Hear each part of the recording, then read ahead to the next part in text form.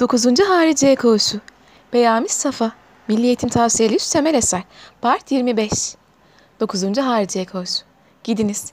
Bir şey istemiyorum gidiniz. Koğuştaki odam bir demir karyola başında bir küçük demir masa, yerde kırmızı muşambalar, çırılçıplak mavi duvarlar, üstümde bir entari ve bir röpte şambır. Kolları uzun geldiği için kendimi bu röpte şambırın içerisinde yadırgıyorum. Hep gittiler. Yapayalnız çıt yok. Odaya şimdiye kadar hiç tanımadığım bir yabancı giriyor. Gittikçe artan karanlık. iki parça eşyayı da benden uzaklaştırıyor ve beni yalnız bırakıyor. Odadan gündüz ışığıyla beraber bana ait her şey çekiliyor. Evime ait hatıralar, kalabalıklar, sevdiklerimin sesleri, birçok şekiller hayatımın parçaları, Erenköy, köşk, tren, vapur, fakülte, doktorlar, hasta bakıcılar, hayatın görüntüleri, şehir, gündüzün sesleri ve her şey uzaklaşıyor. İçimde bir boşluk. Garip ve büyük bir his. Derinlerime doğru kaçıyor. Gizleniyor. Ruhum karaltılarda. Sessiz ve şekilsiz gölgelerle. Eşyaların arkasına saklanan hayaletler gibi. Kendilerini göstermeden korkutan meçhul varlıklarla dolu. Kapım kapalı. Açmak istemiyorum. Açarsam hastanenin benim hazırladığı felaketlerin hepsini birden içeriye gireceğini sanıyorum. Karanlık bastı. Elektrik düğmesini çevirdim. Gayet zayıf bir ışık. Ancak odanın büyük çizgilerini görebiliyorum. Teferruatta sarı bir beniz içinde bulunuyor. Kapım vuruldu. Giriniz. Işıklı dehlizin soluk çerçevesi önünde bir kadın. Bembeyaz bir gömleğin üstünde esmer bir baş, siyah kaşlar, yuvarlak ve kabarık akları parlayan oyukların mıhlı, sabit katı gözler. Yemeğiniz şimdi gelecek. Çekildi. Yemek tiksinti. Biraz sonra yemeğim geldi. Yaklaşıp bakmadım bile. Uzun yürümüyor, dakikalar korkunç bir sıkıntı içinde uzuyor, hatta dağılıyor, birikmiyor, toplanmıyor ve bir çeyrek saat olamıyorlar. Aylar. Kim bilir ne ıstıraplı aylar geçireceğim yatağıma. Büyük bir korku içinde bakıyorum. Yorgana elimi süremiyorum. Yalnız kenara ilişip geçici bir zaman içindeymiş gibi oturuyorum. Bütün yataktan garip bir koku geliyor. Hastane kokularının terkibine dahil unsurları kokusu geliyor galiba buhar. Derhal büyük seferleri, çayları, dağ başlarını özlüyorum. Nasıl olursa olsun bir hareket bir şey istiyorum. Hafızam kapalı. Bazı şeyleri hiç hatırlamıyorum. Hatta kulaklarım bile tıkandı. Göğsünde müthiş bir tazik var. Bağırmak arzuları gidip geliyor. Yudum yudum su içiyorum. Kapı tekrar açıldı. Aynı kadın. Tepsiyi almak için yavaşça yüzüme, beni hiç anlamayan varlığımı inkar eden gözlerle baktı. Niçin yemediğimi soruyor. İhtimal, benim garabetim karşısında değişen gayri beşeri bir ses çatlak ve topraklı bir ses. Hiçbir şey izah etmeyen garip bir cevap mırıldanıyorum. Çıkıyor. Dehlizde fısıldılar. Yumuşak muşambalarda terlikle ayak sürtünüşleri. Uzak koğuşlarda ince aykırışlar geliyor. Türkü mü ıstıraplı bir çığlık mı? İçinde her an artan bir hayretle gözlerimin iliştiğini hissediyorum. Sanki her saniye etrafında tabiat üstü bir alem doğuyor. Geceyi bu odada geçireceğime inanmıyorum. Beni burada zapt edecek kuvvetle mücadele ihtirasına gebeyim. Ruhumda büyük bir hazırlığın kımıltıları başlıyor. Duvarda bir elektrik zili düğmesi gördüm. Bir hareket yapmak iştirakıyla düğmeye bastım. Aynı kadın geldi. Eşikte duruyor ve emri bekliyor. Yüzüne bakıyorum ve hiçbir ses söylemiyorum. Duruyor. Gözlerinin akları parlayarak hiç kımıldamadan. Ağzı açıldı ve gözleri büyüdü. Hortlak. Gidiniz. Bir şey istemiyorum gidiniz. Duvarlar. Galip duvarlar uzaklaşıyorlar. Yüksek, çıplak, mavi, dümdüz, dimdik duvarlar. Gözümün hiçbir görüş köşesi yok ki içine bir duvar parçası girmesin. Hep ve yalnız onları görüyorum. Onlardan kaçan gözlerim onlarla karışıyor. Baktıkça uzuyor, yükseliyor, sertleşiyor ve korkak. Yumuşak bakışlarımda kas katı çarpıyorlar. Gözlerimi ezecekler, başım döndü. Deniz gibi haykırıyor ve beni çeviriyor. Serinliklerini hissediyorum. Denizde çıplak vücudumu saran dalgaların birdenbire taş kesilmeleri gibi duvarları giyiyorum. Hiç kımıldamıyor. Bütün bu hastanenin sessiz, hareketsiz, soğuk, bomboş anlarını onlar dolduruyor. Gözlerimi onlardan kaçırmak için yastığa kapanıyorum. Arkamın uzanacaklarını, üstüme abanacaklarını sanıyorum. Ve onlara mütemadiyen bakıyorum. İçime serin bir mavilik doluyor. Ruhumu iyice gizleyen korkunç bir tehditkar mahluk. Şuurları varmış gibi duruyor ve her an büyük bir felaket yapmaya hazır halde avlarının kokusuyla eğlenmek maksadıyla icrasını tehir ediyormuş gibi duruyor. Allah gibi kuvvetini göstermeden kuvvetli duruyor. Onlarla mücadele ederek vakit geçiriyorum. Fakat onlar doğmuş avuçlarıyla zamanı da yakalıyorlar, durduruyorlar ve hayatımın serbest akışına mani oluyorlar. Kanım soğuyor, kireçleniyorum. Birçok defa elektrik ziline basmak istediğim halde kımıldanamıyorum. Biraz yürüsem onların bana doğru geldiklerini görerek geri çekiliyorum. Nihayet düğmeye bastım. Çarpıntıyla bekliyorum gözlerimin kapının topuzunda gelmiyorlar. Tekrar düğmeye bastım. Gene bekliyorum. Gelmiyorlar göğsümde müthiş bir baskı. Boylu boyunca bir duvardan altında uzanıp kalmışım gibi. Hava alamıyorum. Kollarımda ve bacaklarımda hayat çekiliyor. Yatağa arka üstü uzanıyorum. O vakit bir çığlık duyuyorum. Keskin, acı, uzun bir haykırış. Hayrete doğruyorum. Kim bağırdı? Etrafımda bir kalabalık. Bütün hastane adamları. Oh. Fakat ben rahatlıyorum. Ben de öyle bağırmak istiyorum. Ancak birdenbire etrafımda bir şeyler sönüyor. Galip duvarlar yaklaşıyor. Başımı siyah bir boşluk kaplıyor. Gözlerini açtı. Diyorlar. Şurasında oğul. Diyorlar. Ağlasın ağlasın açılır. Diyorlar. Kim ağlıyor bilmiyorum. Hıçkırıklar duyuyorum. Ve daima içimde bir rahatlama. Kulaklarımı onlara uzatıyorum. Nusret kim diyorlar. Sayıklıyor diyorlar. Kollarımı onlara uzatıyorum. Bir şey söylemediğimi sanıyorum. Ah doktor geldi diyorlar. Tanımadığım bir adam yaklaşıyor. Etrafımdakiler katışıyorlar. Adam elimi eline alıyor etrafımdakilere. Uğultusundan başka bir şey duyamadığım bir şeyler soruyor. Birçok ağızlar oynuyor. Tek tük kelimeler işitiyorum. Bağırdı bulduk Nusret. Doktor kati işaretlerle bir şeyler söylüyor. Bir ikisi dışarı çıkıyor. Doktor yatağa yanı başıma oturuyor. Saçlarımı okşuyor okşuyor. Hah aferin ağla ağla diyor. Nusret kim? Kardeşim mi? Hayır hayır korkuyorum. Sebep yok. Yavrum bak hastane adam dolu. Yalnız bu pavyonda 11 insan yüzlerce çocuk var. Bilmiyorum fenayım. Fena şeyler düşünüyorsun. Korkuyorum. Niçin burada her şey var zil bile. Korksam bas gelirler. Her taraf kapalı. Her taraf kapalı. Korkuyorum. Kapalı olduğu için mi? Bilmiyorum bu duvarlar. Ey of. Bir şey mi düşünüyorsun? Birini mi düşünüyorsun? Hayır bilmiyorum. Nusret'i mi görmek istiyorsun? Nusret kim kardeşim mi? Nusret kim kardeşim mi bilmiyorum. Nusret kim? Bilmiyorum. Biliyorsun biliyorsun hadi söyle bana. Nusret kim? Bayıldığın zaman onu sayıklamışsın. Beni buradan çıkarınız. Hadi söyle yavrum. Söyle rahatlayacaksın. Ben bu gece burada kalamam. Söyle. Çıkarırım şimdi. Şimdi fakat söyle. Of.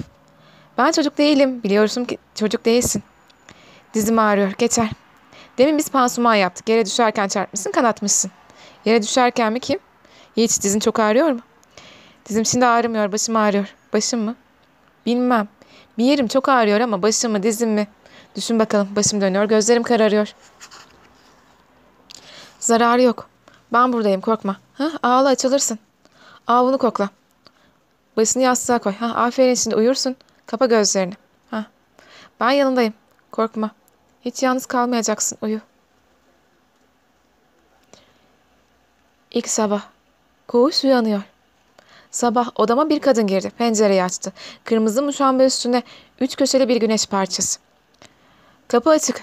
Sessizce faaliyet. Beyazlı kadınlar ellerinde sırıklarla takılmış bezlerle muşambaları siliyorlar. Odama giren kadın dün geceki değil. Kısa boylu, başörtüsüyle yanaklarının yarısı ve kaşlarına kadar başını kapamış. Yüzünü görmüyorum. Her yere bakıyor, gözlerini bir kere bile bana çevirmedi. Yerinden kaldırdığı masa onun gözünde benden daha mühim. Dikkatle işini yapıyor. Odamı sildi. Sonra başını kaldırarak bir şey isteyip istemediğimi sordu çıktı. Gece uyuduktan sonra ilk defa sabahleyin uyandım. Başımda hafif bir ağrı etrafımda. En küçük harekete bir büyük bir dikkatle bakıyorum ve her şey bana çok yeni garip görünüyor. Hele koku hastane hayatını dışarıda yalnız bir kokuyla ayırıyor. Bu koku hastanenin ruhudur. Dehlizde insanlar çoğalıyor. Hademeler geçiyorlar. Odama bakan pek az insan, onlarınki de tesadüfi bir başveriş, itiyadın verdiği körüklükle işlerini ait her şeyden başka gözleri hiçbir şey görmüyor. Ağır ağır yürüyüp gidiyorlar. Dehlizden ilk defa bir hasta çocuğun geçtiğini gördüm. Başı benim odanın tarafına doğru eğilmiş, boynu omuzları yukarı kalkıp yürümeyi unutmuş, bir gayri tabi adım atarak ve arada bir hafifçe sıçrayıp elini boynuna götürerek yürüyor. Dehlizde kalın, hakim bir ses yükseldi. Bir insan ismi çağırdı. Bir kadın ve bir erkek koştular. İlk yüksek ses ve ilk gürültü. Dört beş kadın erkekten mürekkep bir kafile geçti. İçinde merak birikiyor. Her hareketin, her küçük hadisenin sebebini öğrenmek, benimle alaka derecesini bilmek istiyor. Bu adamlar niçin geçtiler? O çocuk nereye gidiyordu? Bu kapı niçin kapandı? Ne kapısıdır? Bu hasta arabası nereye götürülüyor? Kimin için? Odama iki erkek ve bir kadın girdi. Hiçbirini tanımıyorum. Erkek çok ciddi. Benim odada bulunuşumla alakaları yokmuş gibi yatağıma yaklaştılar. Erkeğin biri kadına sordu. Kontrol kağıtları değiştirildi mi? Dün gece derecesinde alındı mı? Bu bağıran hasta değil mi? Bana yaklaştı ve yüzüme bakmadan koltuğumun altına derece koydu. Öteki adam Fransızca şunları söyledi. İkinci ameliyatta belki bacağı kesilecekmiş. Sinirleri çok zayıf. Vücudu da tehlikeli. Operatör ciğerde bir afetten korkuyor. Dereceyi koyan adam Fransızca şu cevabı verdi. Hep böyle tehlikeli hastalar gönderiyorlar. Burası morga döndü. Sonra da tahsisatı kesiyorlar. Sert bir tavırla dereceme baktı ve başucumdaki kağıda işaret etti. Sonra bana döndü. Sana üç tane yemek yazıyorum. Sonra öğrendim ki bu hastanenin bir tabiriymiş. Çok ye. Bak zayıfsın anladın mı? O kadar kaba işinden bıkmış, sinirli bir sorusu vardı ki nefretimi sesinde perdesiyle hissederek peki dedim. Gene kağıtlara bir şeyler yazdı, çıkıp gittiler. Birdenbire kendimi o kadar yalnız buldum ki oda kapısında herhangi bir tanıdık yüz görüneydi sevinçten haykıracak, yataktan atlayacak, boynuna sarılacak ve beni buradan alıp götürmesi için yalvaracaktım. Koridorda kalabalık gittikçe artıyordu. Birkaç hasta çocuk geçti. Bitişik salonlarda hastaların mırıltıları başlıyordu. Hastanenin sessizliği kadar gürültüsü de beni korkutuyordu. Dışarıda bütün faaliyetlerin beni incitmek için hazır olduğundan kendimi kurtaramıyordum. Odanın önünde her ayak sesi yaklaştıkça bana fena bir haber verilecekmiş gibi korkudan büzülüyordum. Çığlıklar saat. Bağırmamayı öğreten mektep. Pansumanlar başladı. Kapının önünde hasta bakıcı kadının kucağında 7-8 yaşlarından bir çocuk geçtiler. Doktor tenhalaştı. Sesler kesildi. Koğuşun bütün ruhu sindi ve bütün zekası bir tek ıstırabın üstüne eğiliyor. Keskin bir çığlık, koridorun havasında büyük bir uçurum. Açarak da diplere kadar gitti. Sonra ses kesildi. Mırıltılar hafif bir çığlıkla karışan uzun bir inilti. Gerildim ve yatağın içine sivrildim. Bir avucumla silteyi sıkıyorum. Kolu sarılı bir çocuk daha geçiyor. Ses yok, bekliyorum. Korkudan elimi yüreğime bastırdım. Kapıda bir adam bana hazırlan dedi. Bundan sonra sıra sende. Ne sırası? Bilmiyorum ameliyat mı pansuman mı ne yapacaklar? Bir çığlık daha koptu ve kulağımın deliğinden giren bir yıldırım gibi vücudum korku ile yakarak dağıttı. Birdenbire gevşeyerek çöküvermişim. Hasta bakıcılar odama geldi. Hadi gelin dediler. Titreyerek bacağımı yataktan uzattım. Terliklerim görünüyor fakat sağlam ayağımı bile içine sokamıyor şaşkınlıktan. Kaçırıyor bir türlü giyemiyorum. Kadınlardan biri. O kadar korkma o kadar korkma. Pansuman bu. Her gün yapılacak alıştırıyorlardı. Kollarıma girdiler. Pansuman odasına girince operatörü görerek birazcık ferahlıyorum. Fakat işin ciddiyeti sırasında benimle eski hastalar arasındaki farkı o kadar unuttu ki aşinalık bile etmeden yalnızca tımarcıya emir verdi. Masaya yatsın. Masaya yatırdılar. Dizimin süratle çözüyorlardı. Operatör başucuma geldi. Yaraya bakarak benimle konuşuyordu. Sen dün gece neler yapmışsın? Hastaneye birbirine girmiş. Burada yalnız sen misin? Altı yaşındaki çocuklar var. Fakat hastalık sinirlerini çok yormuş olacak. Bakalım hmm. Burada arıza yere düşmekten fena zedelenmiş. Peki dur dur korkma. Az mı? Peki ha dur dur hım pekala yanındakilere emir verdi. Pansuman. Bana döndü. Yarın ilk ameliyatı yapacağız. Ondan sonra netice belli olur. Bugünlük bu kadar. Sonra iki üç silleyle yanağımı okşadı. Hadi korkma bu kadar. Burada bağırmamayı öğrendikten sonra çıkacaksın. Ameliyat. Aslında daha korkunç gölge. Öğleden sonra anne, Mithat Bey arkadaşım geldiler. Bana uzatılan ellere bir uçurumun dibine inmişim gibi sarıldım. Bir cevabı saatlerce sürebilecek sualler soruyorlardı. Hiçbirine cevap veremiyordum. Yüzlerce kelimeyi teksif edebilecek bir baş hareketi, bir bakış, bir teneffüs arayarak susuyordum. Onlar hastaneye dışarıdaki hayatın karıştığı saatlerde gelmişlerdi ve odanın gecesini sabahını tanımıyorlardı. Duvarlarda gölgelerin kımıldandığı, döşemelerin dinç seslerle örtüldüğü ve dehlizlerin canlı şekilde kaynaştığı bu hayat ve hareket saatindeki hastane bambaşkadır. Bu dekor benim bir gece evvelki halimi anlatmak isteyenlere hiçbir şey söylemez. Onun için ben de söylemiyorum. İlk gece birazcık yadırgadım diyorum. Hadiseleri bilmiyorlar. Akşama kadar oturdular. Saati olmak neşesini gizleyemiyorlar. Yalnız annemin arada bir gözleri dalıyor. Bizden uzaklaşmadıkça bize görünmeyen sıhhat, itiyadının verdiği his, hissizlikle, sağlamların şuurundan kaçıp nasıl ve nereye saklanıyor? Onu ben görüyorum. Çünkü benden uzak, onu ben Mithat Bey'in kırmızı yüzünde, çelik damarlarında, arkadaşımın otururken rahat girilişlerinde, bacaklarını uzatışlarında, korkusuz bakan gözlerinde görüyorum. Akşama kadar oturup gittiler. Gazetelere biraz göz atarak yattım ve uyumaya çalıştım. Muvaffak olduğum sabah olmadan evvel uyandığım vakit anlamıştım bir daha uyuyamadım. Gayet mühim bir günü şuurla karışmak istiyorum. Bugün ameliyat olacağım. Hep titreyerek nefes alıyor ve su içiyorum. Ameliyat dakikasında korkmadan korkuyorum. Korkunun bu en derin nevi dayanılacak şey değil. Istırabın vukuundan evvel ruhta bir gölgesinden ibaret olan korku, ıstıraptan bin kat daha müthiş. Mühayilenin ışığına yaklaştıkça ruhta uzanan bünyenin ve aslından daha korkunç bir gölge. Sabahın ışıkları odadan içeriye doldukça bütün cesaretim boşanıyor. Her ses kapı açılıp kapanmaları, tek tük çığırışlar, mırıltılar, varlığımın en hayati köklerine işleyen bir tesirle beni kendine bağlıyor, çekiyor, sarsıyorlar. Gene bir sabah evvelki ziyaretler. Koğuşun uyanışı, temizlik, odama giren kadın, dehlizde küçük hastaların sürüklenişleri, gene seslerin, gürültülerin, hareketlerin çoğalışı. Gene kapımda bir adam. Bu sefer daha erken göründü. Hazırlanınız. İlk ameliyat sizinki. Sarardığımı hissediyorum. Müthiş ağırlığı altında ruhumu deviren korkudan kurtulmak için felaketin üstüne yürümek istiyorum. Istıraptan korkmanın tek ilacı ıstıraptır. Bu ateşi o söndürür. Hasta bakıcılar girdi. Bir ses söylemelerine meydan bırakmadan yataktan indim. Terliklerimi kolayca giydim. Fakat artık yelkenli bir gemi gibi kendi talimini rüzgarına bırakmıştım. Akıp gidiyordum. Odamdan ameliyathaneye nasıl geçtiğimi bilmedim. Bembeyaz oda. Hamam gibi sıcak. Sessiz. Kaynayan suların ince fısıltıları. Kımıldayan ve kımıldayan beyazlıklar arasında kamaşan gözler, eşyaların çizgileri seçemiyorlar. Bütün salonu çekertecek ağır bir sessizlik. Hayatın nasıl bir şey olduğunu unutturan bambaşka bir hali. Bir rüya odası. Uyuşturucu koku. Belki kloroform. Herkesle getireceğim tecrübenin ehemmiyetini isteten bir vaziferberlik. Operatörün küçük işaretiyle büyük işler yapılıyor. Masaya uzatıldım. Etrafımdaki beyazlıklar dalgalanıyor. Hiçbir şey seçkin seçili göremiyorum. Gözümün önünden pamuk geliyor. Yüzümü maskeyle örttüler. Derin nefes al.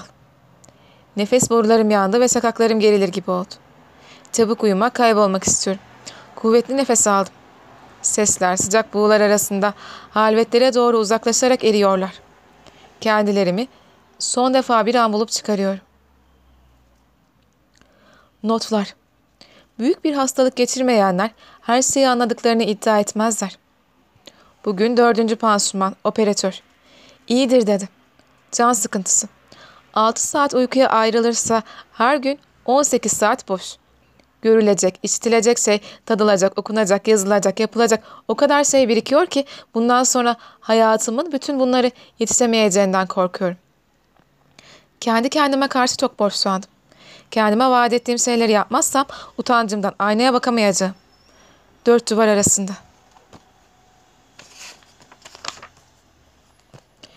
Kendimi kitapların kahramanlarından daha mühim bulduğum için okumaktan sıkılıyorum. Istırabım, hotgamlığına mani oluyorum. Odamı düzeltiyorum, masamı topluyorum. Tekrar bozuyor, tekrar topluyorum. Bu işte bitiyor. Ne yapacağım? Hiç. Nereye bakacağım? Hiç. Ne dinleyeceğim? Hiç. Gözlerim, kulaklarım, mafsallarım renge, sese, harekete çok açtılar. Bitişik koğuşta hastalar türkü söylüyor, pansuman arasında haykırışlar.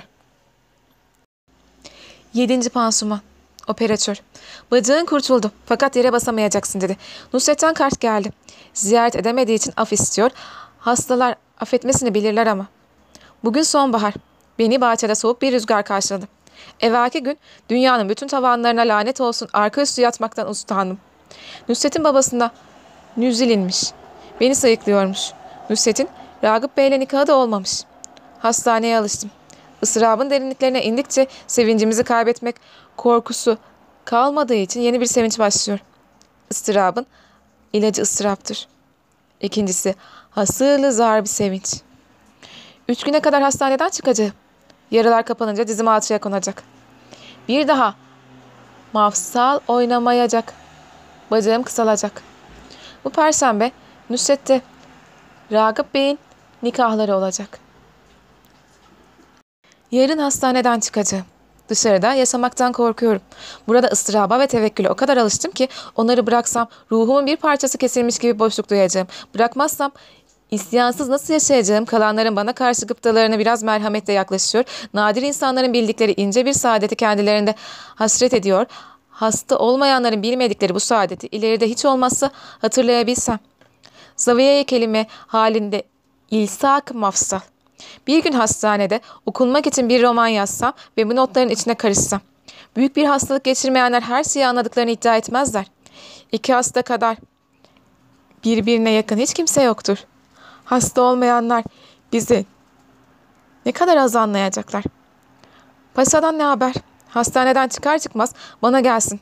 Ölümüm yakın. Kendisini bir köreye göreyim demiş. 5. Tesiri evvel 1915 9. Hariciye koş. 5 dakika sonra hastaneden çıkıyorum. Son not. Bu odada başkaları inleyecekler. Onları şimdiden gayet iyi tanıyorum. Üstümden çıkarıp yatağa attım. Röpte şambır içinde ebediyen aynı insan bulunacak. Hasta. Annem, Mithat Bey ve arkadaşım içeri girdiler. Haydi. Son.